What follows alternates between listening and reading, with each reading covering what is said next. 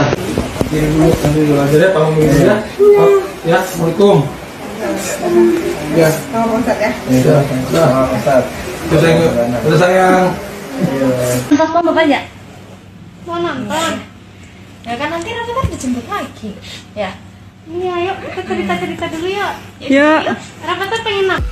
Halo Sobat Fakta Bang Pin, ketemu lagi dengan Bang Pin yang terus mengabarkan fakta viral seputar selebritas tanah air yang terus saja bikin berita dan dengan berita mereka tetap eksis di ranah media. Kali ini masih soal Rafathar yang dimasukkan pesantren. Tetapi Nafi Rahmat giliran disindir oleh netizen. Nah, bagaimanakah ceritanya? Masukkan anak ke pesantren kok disindir Rafinya.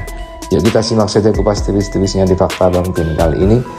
Like, subscribe, and komennya ditunggu dan jangan lupa selalu ada doa dalam setiap lentikan jarimu.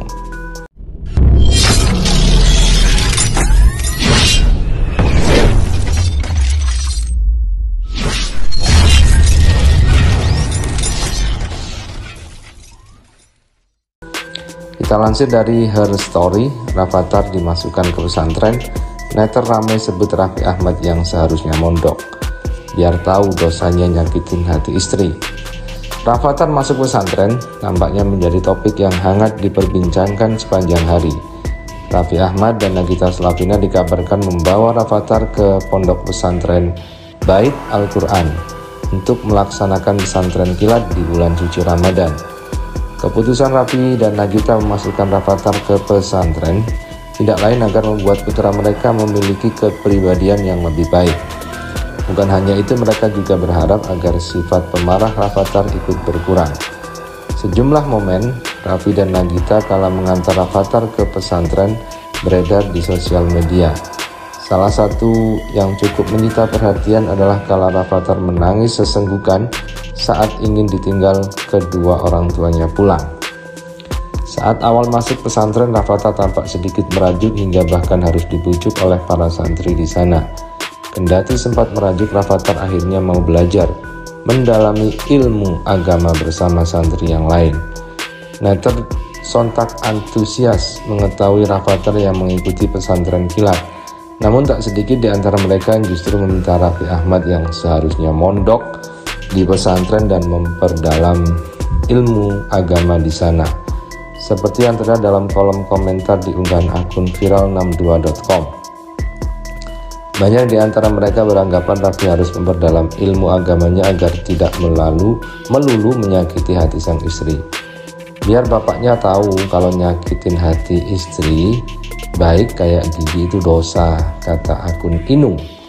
Bapaknya Rafathar sering kali deket sama cewek, jadi suruh aja bapaknya yang ke pondok betul nggak sambung offline. Harusnya bapaknya yang di pondok sambung yang lain. Kemudian pendiri pondok pesantren tempat Rafathar Mondok ini orang terkenal Raffi Ahmad berharap sifat anaknya berubah.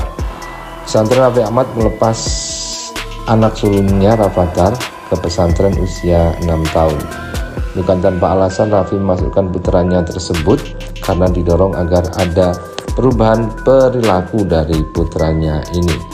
Dan ternyata pemilik pondok pesantren ini adalah Bapak Profesor Shihab, ayah dari Najwa Shihab. Pasti Anda sudah tahu kan siapa Bapak Shihab ini. Nah, ini dulu nanti dulu aja deh, pamit dulu ya. Oh, Ya, assalamualaikum. Ya, Sama Ustadz ya. ya, nah, udah sayang, udah sayang. Entah mau ya? Mau nonton? Ya kan nanti Raffi kan dijemput lagi. Ya. Iya, yuk kita cerita-cerita dulu yuk. Ya. Rafa tuh pengen nonton.